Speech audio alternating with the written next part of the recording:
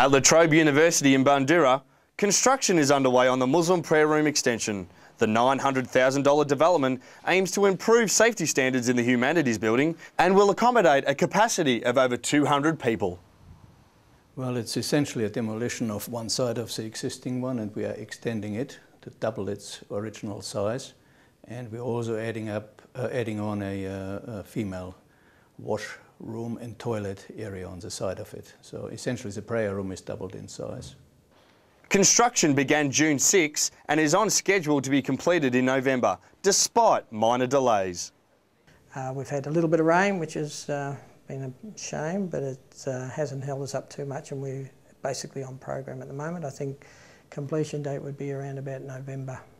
The extension was first proposed to student services by the La Trobe University Islamic Society two years ago due to the increased numbers in the old prayer room. Yeah, we have been uh, working very closely with the university and the designers uh, with the, the new design and um, it is a very good design and it should uh, hopefully accommodate for our needs. A Friday prayer was getting extremely overcrowded and we had people like up to 30, 40 people praying outside which is obviously a safety hazard. And we also, that also meant that because it's not compulsory for the women, that they were being excluded. Now we wanted, um, we put this to the university that we want a room big enough to accommodate for both the males and the females. Students have reacted positively to the extension, yet some believe that the price tag of just under a million dollars could be better spent on other facilities. A million dollars, that's an awful lot of money to be spending on one group of people. Yeah, I think it's good that we can support that you know, all different religions and that sort of thing? I find it very unnecessary. I think they should invest in some more qualified teachers. I'm fully supportive of the initiative. I think it's really important that the university shows that they're inclusive of cultural diversity, and I've got no problem with it. I think that's a good thing. I think that we do have a lot of Muslim international students, so it's a good thing to cater for them.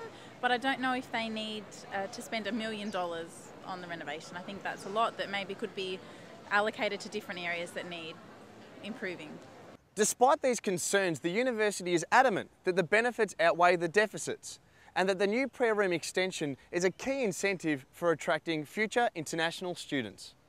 If we're trying to attract an international cohort of students, and we are, and um, Middle East is one of the growth areas uh, that's been identified, that we can say we have facilities for uh, international students that perhaps other universities don't have.